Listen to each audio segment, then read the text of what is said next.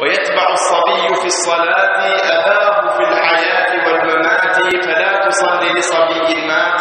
أبوه في الشرك غدا وبات. الصلاة على الصبي قال جمع من الفقهاء إن الصبي يتبع أباه.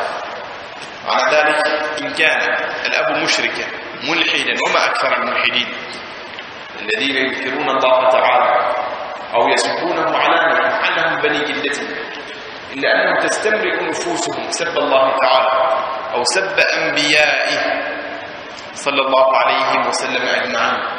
فمثل هؤلاء المشركون لا يستحقون أن يصلى عليهم بل لا تجوز الصلاة على مثل هؤلاء. وكل من ثبت عليه ولو كان من بني جلدتنا ولو كتب له في هويته بأنه مسلم وثبت عنه أنه يسب الذات العلية أو يسب وينكر الإيمان بالبعث. لما رأينا جمعا منهم يصرحون بهذا. فمثل هؤلاء لا يجوز أن يصلى عليه. لكن لو كان لهؤلاء أولاد مسلمون فهل يصلى على أولادهم أو لا يصلى على أولادهم؟ الفقهاء اختلفوا في مثل هذا. ما هو حكم أولاد المشركين؟ جمع منهم قالوا إن حكمهم حكم آبائهم. ولد المشرك نعم وغير معذب غير مؤاخذ لكونه طفلا إلا أنه يسن به سنة أبيه.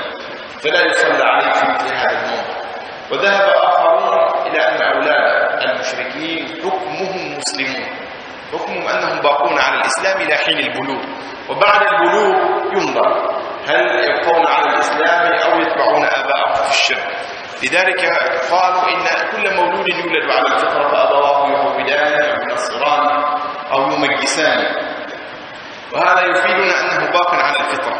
لذلك فعلى هذا الرأي الرأي يرجحه شيخنا إمام السنة والأصول حفظه الله تعالى ويرجحه قطب الأئمة من علمائنا أيضا أن حكمهم حكم المسلمين. على هذا الرأي يصلى عليهم ولو كان آباؤهم مشركين والله أعلم.